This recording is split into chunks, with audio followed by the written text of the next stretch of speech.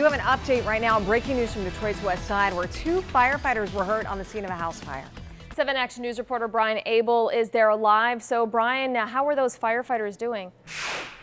Uh, they're going to be okay, first and foremost. First, second degree burns, so burns that are recoverable to the neck area as well as to the arm. I want to show you what they were fighting, battling here on the city's west side. Here is the house that they were called to around 4.30 this morning, corner of Van Buren and Minock.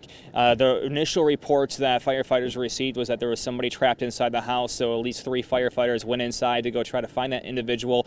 The conditions inside the home changed at some point, and those firefighters had to evacuate outside of the house rather quickly. At least one of those firefighters went out through one of these two front windows you see here, most likely the right one because we don't see any of those supportive arms in there. And then two of the firefighters had to go out on the side.